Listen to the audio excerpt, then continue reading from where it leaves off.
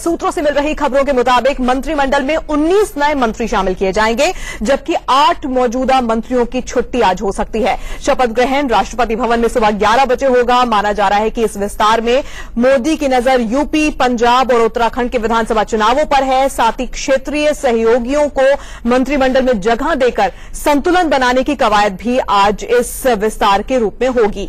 UP के जिन चेहरों को शामिल किया जाएगा, उनमें यूपी के मिर्जापुर से अपना दल की सांसद अनुप्रिया पटेल, चंदौली से सांसद महेंद्र नाथ पांडे, शाहजहांपुर से सांसद कृष्णा राज संभावित चेहरों में शामिल हैं। मंत्रिमंडल के संभावित चेहरे इस वक्त आप देख रहे हैं। अनुप्रिया पटेल महेंद्र नाथ पांडे, कृष्णा राज, इन लोगों को आज मंत्रिमंडल में शामिल किया जा सकता है।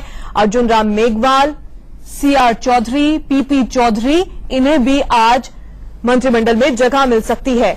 एसएस आलूवालिया फगन सिंह कुलस्ते, अजय टमटा। ये वो संभावित नाम हैं जो अब लगभग तय माने जा रहे हैं। भाबोर, भामरे और राजन गोहेन के नाम भी संभावित चेहरों की लिस्ट में शामिल हैं। रामदास अठावले और इसके अलावा एमजे अकबर के नाम भी सामने आ रहे हैं। विजय गोयल, अनिल माधव दवे, पुरुषोत्तम रूपाला, मनसुख भाई मंडाविया तो ये वो चेहरे हैं जिन्हें आज मोदी मंत्रिमंडल में जगह मिल सकती है। और अब आपको दिखाते हैं वो कौन से चेहरे जिन्हें प्रमोशन मिल सकता है। मुख्तार अब्बास नकवी, जो अल्पसंख्यक राज्य मंत्री हैं, जयंत सिन्हा, वित्त राज्य मंत्री निर्मला सीतारमण, इन्हें प्रमोशन मिल सकता है। पीयूष गोयल, धर्मेंद्र प्रधान, संजीव बालियान, इनके कामकाज को देखते हुए आज इन्हें प्रमोशन मिल सकता है। वो चेहरे जिनका आज इस कैबिनेट रिशवल में प्रमोशन हो सकता है।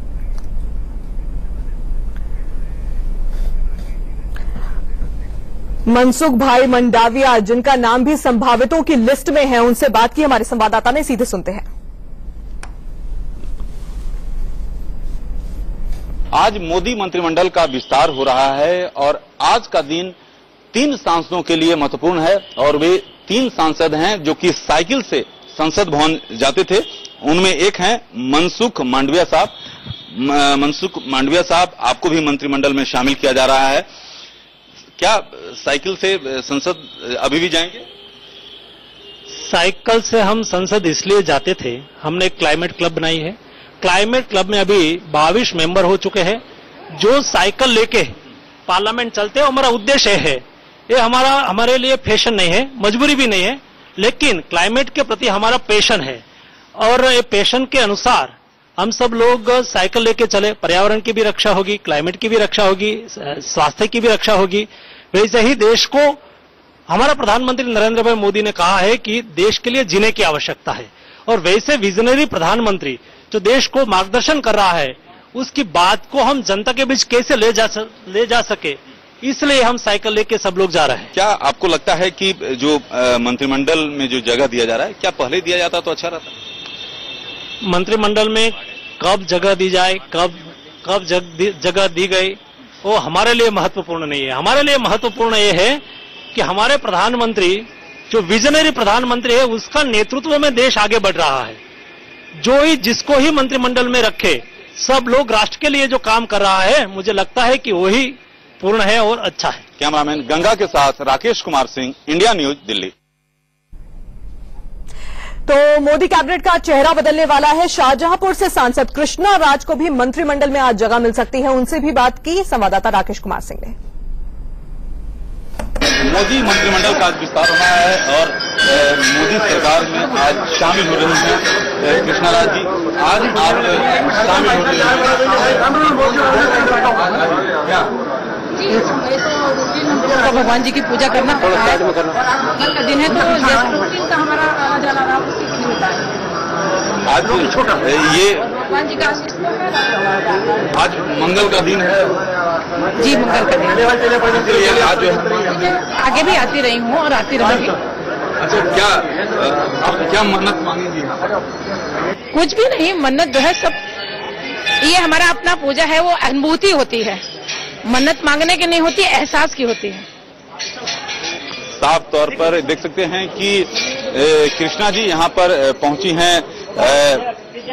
हनुमान मंदिर और उनका साफ़ तौर पे कहना है कि आज का दिन जो है काफ़ी महत्वपूर्ण है और इसीलिए शुभ शुरुआत किया जाए और इसीलिए जो है हनुमान मंदिर पहुँची हैं।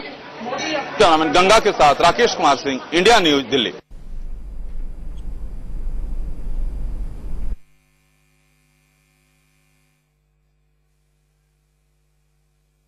पूजा जनता की करते हैं। आप ये सब सब लोग हैं जनता इनकी सबकी पूजा करते हैं। वर्क इज़ वर्शिप इसमें बिलीव करता हूँ ठीक है?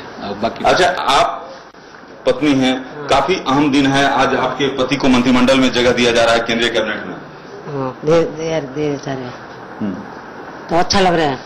बहुत अच्छा लग रहा है। क्या विभाग मिलना चाहिए? क्या आप आप सोचती हैं कि क्या विभाग दिया जाए? तो विभाग तो देखो मिल जाए देखा। हाँ। वो मिले अभी तो जा रहे हैं। मिलेगा जब पता चलेगा। अच्छा हमारे साथ अर्जुन राम मेघवाल जी की पोती भी हैं। क्या कहेंगे अपने दादाजी के लिए आज? मुझे बहुत अच्छा लग रहा है। मैं दो दिन से सो नहीं पा रही हूँ। आप क्या चाहेंगे कि दादाजी को क्या विभाग मिले? विभाग मतलब? क्या डिपार्टमेंट मिले? क्या डिपार्टमेंट मिले? मिलने के बाद पता हम्म। हाँ मिलने के बाद ही तो पता चलेगा। लेकिन नींद नहीं आई रात भर नींद नहीं आई। हाँ। हाँ? हम्म। अच्छा और उनके परिवार के सदस्य हैं आप बताइए आज जो है मंत्रिमंडल में जगह दिया जा रहा है क्या कहेंगे आप? मैं बहुत खुश हूँ कि मेरे नाना जी को मतलब जो उनको बनना चाहिए था वो आखिर आज बन गई उनकी जो मेहनत थी इतने सालों की वो आखिर काम आई। काम आई। आ, आप बताइए आप लगातार जो है अर्जुन राम मेघवाल जी करीब एक डेढ़ घंटे पूजे पूजा पाठ पूरा किए परिवार के साथ? हाँ जी। हाँ। बहुत अच्छा लग रहा है शुभकामनाएँ देनी चाहिए। भगवान का आशीर्वाद लेना ज़रूरी है। सबसे बड़ा ऊपर भगवान है उसका आशीर्वाद बहुत ज़रूरी है तो। अच्छा आप क्या चाहती हैं कि क्या मेघवाल साहब को क्या विभाग मिले जो कि आप चाहती हैं जिसमें बेहतर कर सकें आप इन्हें कोई भी विभाग दे दीजिए ये सब में बेस्ट है। आपको उम्मीद है कि अच्छा करेंगे। हाँ, अच्छा करेंगे कुछ कुछ भी दे दो इनको। मेघवाल साहब आप आप क्या चाहेंगे? मेघवाल साहब जो है लेकिन क्या आप साइकिल से जाते रहे संसद भवन जाते रहे क्या मंत्री बनने के बाद साइकिल जाएँगे? सर मैं बाद में ग्यारह बजे के बाद। तो ये थे अर्जुन राम मेघवाल साहब इसका साफ़ तौर पे कहना है कि आज का दिन काफ़ी महत्वपूर्ण है और करीब डेढ़ घंटे तक डेढ़ घंटे तक यहीं पर जो है वो अपने परिवार के साथ पूजा अर्चना किए और उन्हें भगवान से आशीर्वाद लिया ताकि जो नई जिम्मेवारी उन्हें मिल रही है उसमें सफल हो पाए। कैमरामैन गंगा के साथ राकेश कुमार सिंह इंडिया न्यूज़ दिल्ली। मोदी मंत्रिमंडल का मोदी मंत्री तो मुझे बड़ा अच्छा लगा और मैं सबका बहुत आभारी हूँ खास करके हमारे प्रधानमंत्री मोदी जी का हमारे नेताओं का। और हमारी जनता जो मेरे क्षेत्र में जिनके आशीर्वाद से मैं यहाँ पे आया हूँ। अब आपको मंत्रिमंडल में जगह दी जा रही है। क्या कुछ पता चल पाया कौन सा मंत्रालय आपको मिलने वाला है यहाँ पर और किस तरह का काम आप करने वाले देखिए हम पार्टी के सिपाही हैं। हम पे जो जवाबदारी सौंपी जाएँगी बड़ी ईमानदारी से मेहनत से लगन से पूरी करेंगे। तो इसके अलावा से अगर हम बात करें प्राथमिकताओं की तो क्या प्राथमिकताएँ आपकी रहने वाली हैं? किस तरीके से आप काम करेंगे? और अब तक का जो काम करा उसमें क्या क्या उपलब्धियाँ रही हैं? देखिए, मोदी सरकार के दो साल पूरे हो गए हम विकास पर्व मना रहे हैं। ये दो साल में बहुत सारी उपलब्धियाँ हैं जो हम लोगों के सामने, जनता के सामने रख रहे हैं। लक्ष्य बहुत बड़ा है, और भी बहुत कुछ बाकी है। और हम एक ही एजेंडा लेके जा रहे हैं। हमारे प्रधानमंत्री का एक ही एजेंडा है, विकास विकास विकास। विकास के अलावा कोई भी एजेंडा नहीं। विपक्ष चाहे जो भी कहे जो भी नॉन इश्यूज़ को उठाने की कोशिश करेंगे, हम ध्यान देंगे नहीं। हम प्रगति के राह पे निकले हमारे नेता के साथ और इस भारत का नवनिर्माण भारत का निर्माण करके ही रहेंगे। दो साल पहले आप पर भरोसा दिखाया गया, आपको टिकट दी गई लोकसभा की। उस पर और इस वक्त दो संवाददाता हमारे साथ सीधे जुड़े हुए हैं। दिल्ली से ब्यूरो चीफ राकेश कुमार सिंह हमारे साथ जुड़े हुए हैं साथ ही लखनऊ से अरविंद चतुर्वेदी भी हमारे साथ है। राकेश अ, कितना महत्वपूर्ण आज का ये कैबिनेट रीशफल है? देखना दिलचस्प होगा। हम अ, जानते ही हैं संभावितों के आ, कौन कौन से चेहरे हैं। वो लिस्ट भी लगभग तय ही मानी जा रही है और ये भी बहुत दिलचस्प होगा कि जब रीशफल होता है तो किसको कौन सा मंत्रालय दिया जाता है? किसकी छुट्टी होती है? देखिए तान्या आज मोदी कैबिनेट का चेहरा बदलेगा और विस्तार में आपको साफ़ दिखाएगा कि चुनावी समीकरण के अनुसार किस तरह से जो है ए, मंत्री पद दिया गया है।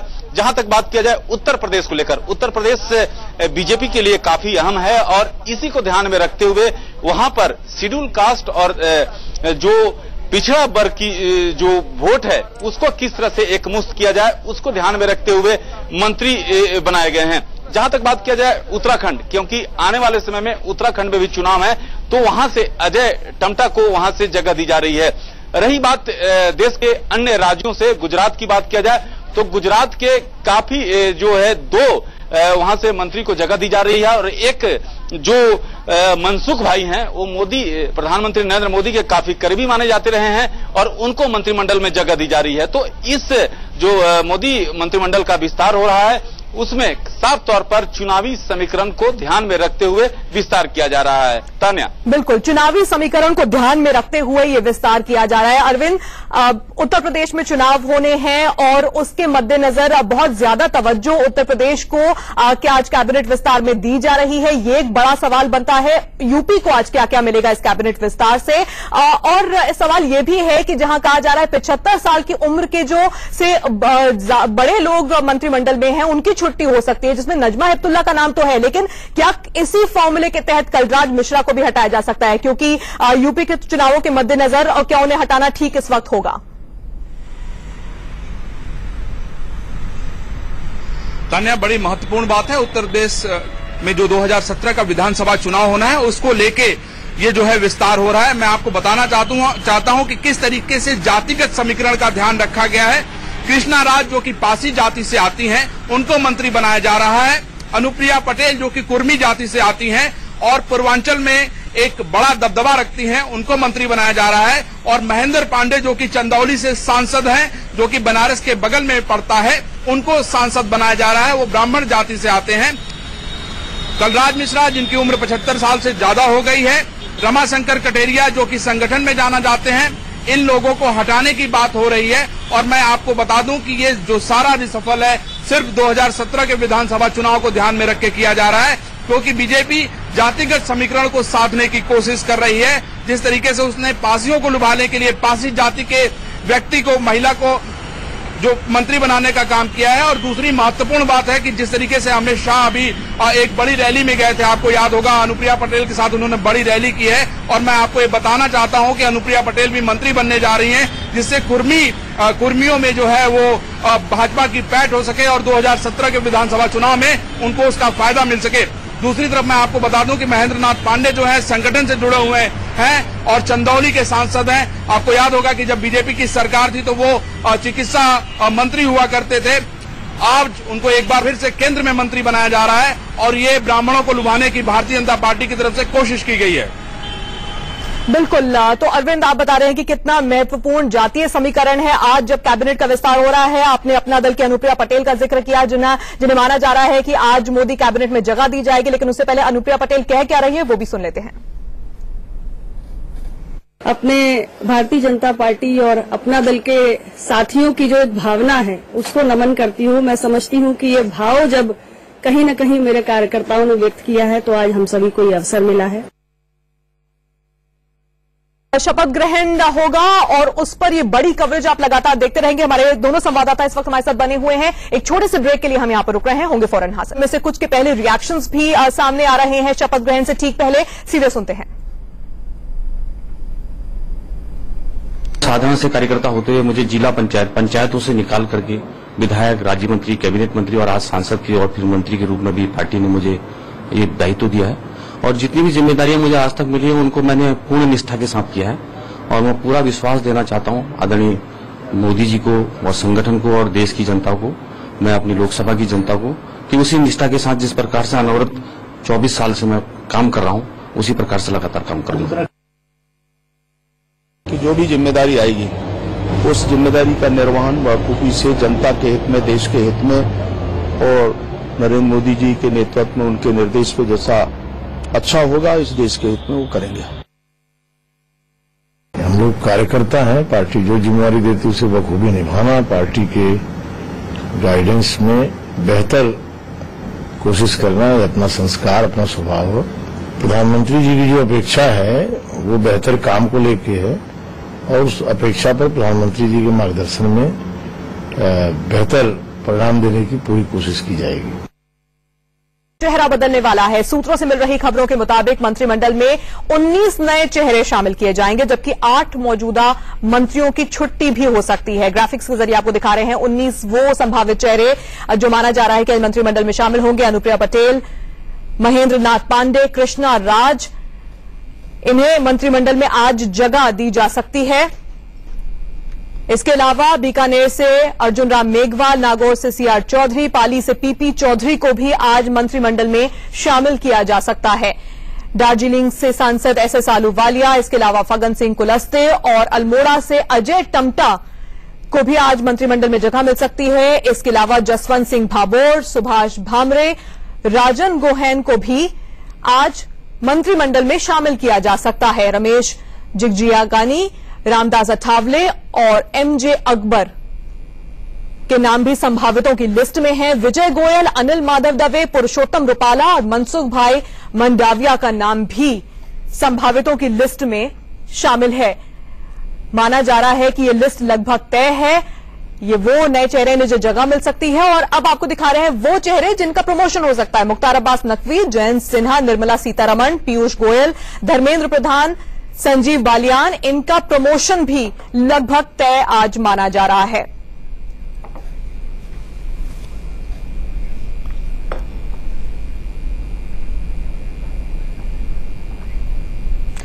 चलिए, वो चेहरे जिनका प्रमोशन हो सकता है, उनकी भी लिस्ट जो सामने आ रही है, वो आपने देखी। इस वक्त बातचीत के लिए हमारे साथ स्टूडियो में वरिष्ठ पत्रकार जयशंकर गुप्ता जी जुड़े हुए हैं। साथ ही लखनऊ से संवाददाता अरविंद चतुर्वेदी हमारे साथ लगातार जुड़े हुए हैं। दिल्ली से भी हमारे संवाददाता हमारे साथ जुड़ेंगे, लेकिन उससे पहले संभावितों की लिस्ट में विजय गोयल का नाम भी है। विजय गोयल से हमारे संवाददाता अजीत ने खास बातचीत की सीधे सुनते हैं।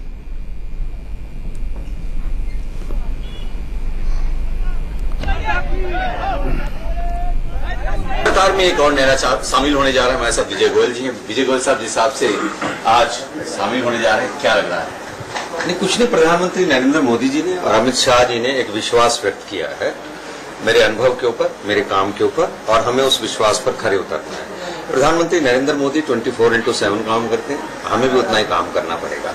और मैं समझता हूँ उनकी जो दूरदृष्टि और उनका जो विजन और वो जो देश के लिए सोच रहे हैं, उसके हिसाब से हमें भी पूरा योगदान देना है।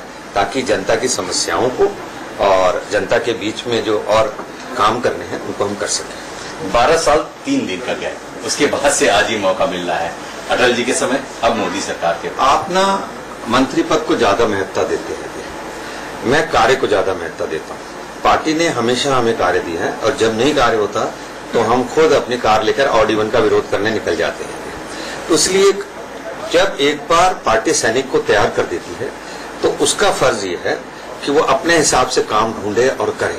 इसलिए मुझे कभी कोई गैप नहीं दिखाई देता क्योंकि मुझे मालूम है कि इस देश को आगे ले जाने के लिए मोदी जी के पद चिन्हों पर चलना पड़ेगा। जिस हिसाब से अटल जी के समय में जिम्मेदारियाँ आपके पास काफ़ी थी अब मोदी सरकार में किस से देख रहे हैं आप और क्या चाह रहे हैं मैंने बहुत प्रधानमंत्रियों के साथ काम किया। अटल जी के साथ किया क्या? किंतु गुजराल साहब से और मुरादी साई से भी मेरे अच्छे संबंध रहे हैं और मोदी जी के साथ काम करने का तो एक अलग ही उत्साह है। जब मैं प्रधानमंत्री कार्यालय में था तो उस समय हमारे प्रधानमंत्री गुजरात के मुख्यमंत्री थे। तो हमारी अक्सर बात हुआ करती थी तो आ, मैं उनके लिए नया नहीं हूँ। उन्होंने मेरा काम देखा है। सवाल इतना है काम पे खरा उतरना। जिम्मेदारियाँ जो मिलेंगी क्या उसे निभाएँगे आप?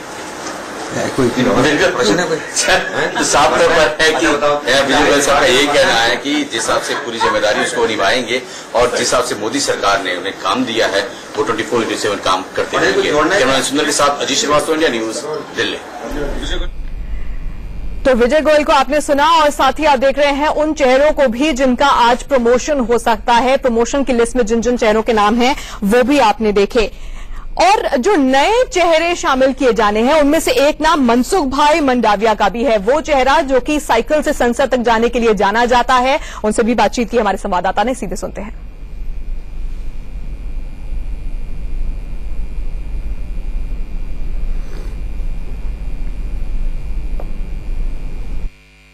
आज मोदी मंत्रिमंडल का विस्तार हो रहा है और आज का दिन तीन सांसदों के लिए महत्वपूर्ण है और वे तीन सांसद हैं जो कि साइकिल से संसद भवन जाते थे। उनमें एक हैं मनसुख मांडविया साहब।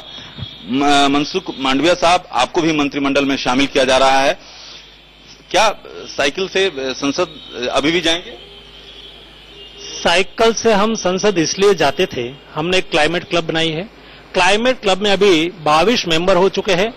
जो साइकिल लेके पार्लियामेंट चलते हैं हमारा उद्देश्य है।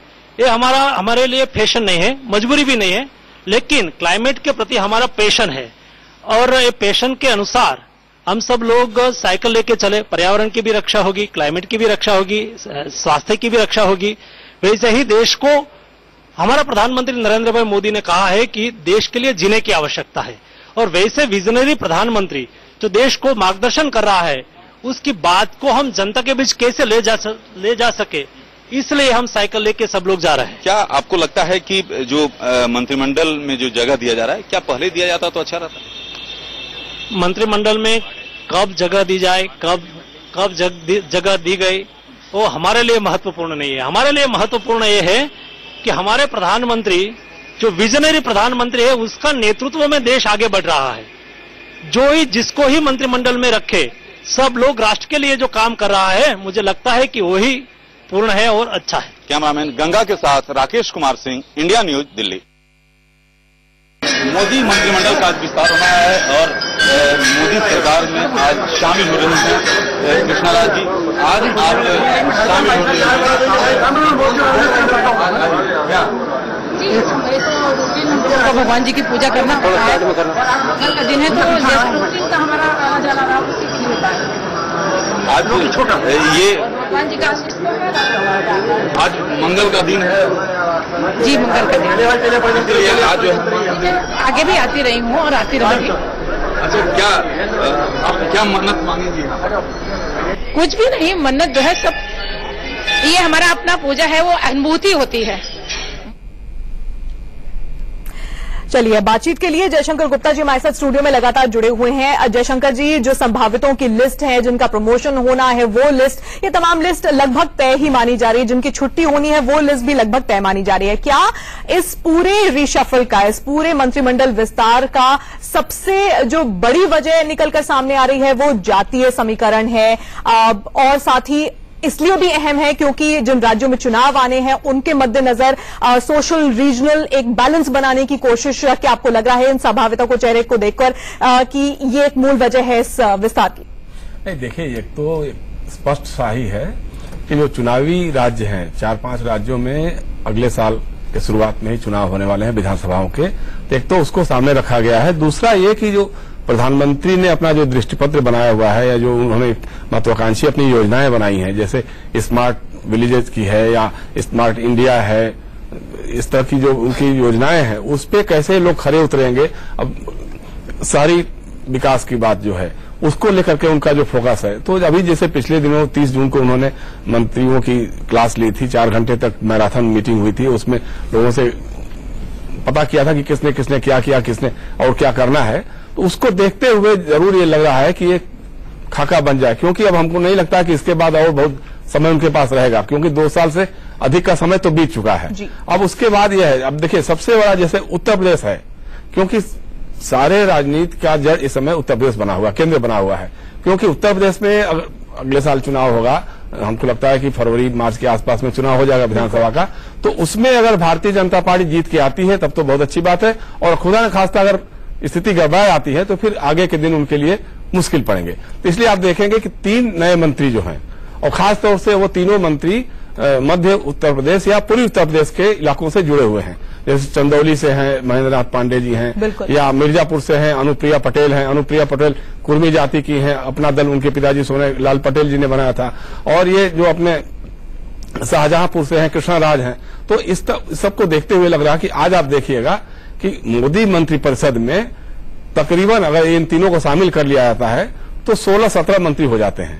और आप समझिए कि प्रधानमंत्री गृह मंत्री रक्षा मंत्री शिक्षा मंत्री ये सारे लोग उत्तर प्रदेश से ही हैं। तो पूरा का पूरा फोकस इधर है। बिल्कुल बहुत ज़्यादा फोकस उत्तर प्रदेश पर है क्योंकि 2017 की शुरुआत में उत्तर प्रदेश में चुनाव भी होने इस पर बातचीत करेंगे। अरविंद? थी कि आप नाराज़गी से कुछ चर्चा नहीं मुझे कुछ नहीं कहना है। मैं शपथ विधि में जा रहा हूँ। जा रहे हैं आप। थैंक यू ये थे आनंद गीते।